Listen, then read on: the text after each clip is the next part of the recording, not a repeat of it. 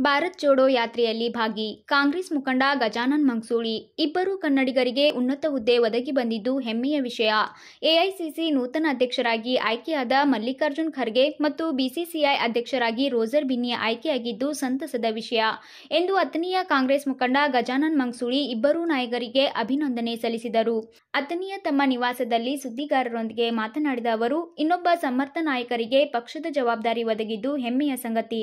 ಇನ್ನು ಭಾರತ ಜೋಡೋ ಪಾದಯಾತ್ರೆ ಬಗ್ಗೆ ಮಾತನಾಡಿದ ಅವರು, ಸ್ವಾತಂತ್ರ್ಯ ಪೂರ್ವದಲ್ಲಿ ಸ್ವಾತಂತ್ರ್ಯಕ್ಕಾಗಿ ಅನೇಕ ಹೋರಾಟಗಳು, ಚಳುವಳಿಗಳು ನಡೆದಿವೆ. ಆದರೆ ಸ್ವಾತಂತ್ರ್ಯದ ನಂತರ ಯಾವುದಾದರೂ ಪಾದಯಾತ್ರೆ ನಡೆದಿದ್ದರೆ ಅದು ರಾಹುಲ್ ಗಾಂಧಿ ಅವರ ನೇತೃತ್ವದಲ್ಲಿ ನಡೆಯುತ್ತಿರುವ ಪಾದಯಾತ್ರೆ ಎಂದು ಅಭಿಪ್ರಾಯಪಟ್ಟರು. ಕಾಶ್ಮೀರದಿಂದ ಕನ್ಯಾಕುಮಾರಿವರೆಗೆ ನಡೆಯುತ್ತಿದ್ದು, ಕರ್ನಾಟಕದಲ್ಲಿ ಇಪ್ಪತ್ತೊಂದು ದಿನಗಳ ಪೂರೈಸಿ ಮುನ್ನಡೆಯುತ್ತಿದೆ. ಈ ಯಾತ್ರೆಯಲ್ಲಿ ಕೆಪಿಸಿಸಿ ಅಧ್ಯಕ್ಷ ಡಿಕೆ ಶಿವಕುಮಾರ್, ವಿರೋಧ ಪಕ್ಷದ ನಾಯಕ ಸಿದ್ದರಾಮಯ್ಯ ಅವರ ಮಾರ್ಗದರ್ಶನ ಮತ್ತು ಕೆಪಿಸಿಸಿ ಕಾರ್ಯಾಧ್ಯಕ್ಷ ಸತೀಶ್ ಜಾರಕಿಹೊಳಿ ಅವರ ನೇತೃತ್ವದಲ್ಲಿ ಅಥಣಿ ಕಾಂಗ್ರೆಸ್ ಪಕ್ಷದ ಮುಖಂಡರು, ಕಾರ್ಯಕರ್ತರು, ಪುರಸಭೆ, ಗ್ರಾಮ ಪಂಚಾಯಿತಿ ಸದಸ್ಯರು ಸೇರಿದಂತೆ ಒಟ್ಟು ಎರಡು ಸಾವಿರಕ್ಕೂ ಅಧಿಕ ಜನ ಭಾಗವಹಿಸುತ್ತಿರುವುದಾಗಿ ತಿಳಿಸಿದರು.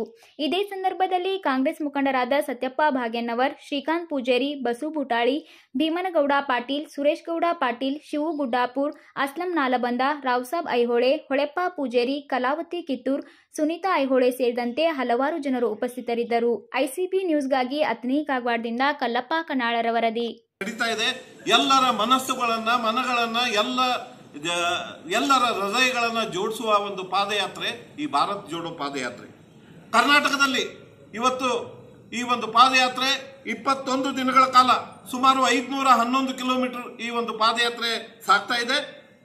ಕೆಪಿಸಿಸಿ ಅಧ್ಯಕ್ಷರಾದ ಸನ್ಮಾನ್ಯ ಡಿ ಕೆ ಶಿವಕುಮಾರ್ ಸಾಹೇಬರು, ವಿರೋಧ ಪಕ್ಷದ ನಾಯಕರಾಗಿರ್ತಕ್ಕಂಥ ಸಿದ್ದರಾಮಯ್ಯ ಸಾಹೇಬರು ನಮ್ಮೆಲ್ಲರ ನೆಚ್ಚಿನ ನಾಯಕರು ಕೆಪಿಸಿಸಿ ಕಾರ್ಯಾಧ್ಯಕ್ಷರಾದ ಸತೀಶನ ಜಾರಕಿಹೊಳಿ ಅವರ ಒಂದು ನೇತೃತ್ವದಲ್ಲಿ ಇವತ್ತು ನಾವು ಅಥಣಿಯಲ್ಲಿ ಪಾದಯಾತ್ರೆಗೆ ಹೋಗೋದಕ್ಕೆ ಇದೇ- ತಾನೇ ಅಧ್ಯಕ್ಷರು ಹೇಳಿದಂಗ ಎಲ್ಲ ಹಳ್ಳಿಗಳಲ್ಲಿ ನಮ್ಮ ಸತ್ಯಪ್ಪನ ಭಾಗ್ಯನವರವರು ಶಿವಗುಡ್ಡಪ್ಪರವರು, ನಮ್ಮ ಬಸವರಾಜ್ ಬುಟಾಳಿಯವರು ನಾವು ಎಲ್ಲ ಮುಖಂಡರು ಸೇರಿಕೊಂಡು ಹಣ ಹಾಕೊಂಡು ನಾವು ಸಾಮೂಹಿಕ ನೇತೃತ್ವದಲ್ಲಿ ಈ ಒಂದು ಪಾದಯಾತ್ರೆಗೆ ಒಂದು ನಾವು ತಯಾರಿಯನ್ನು ಮಾಡ್ತಾ ಇದ್ದೇವೆ.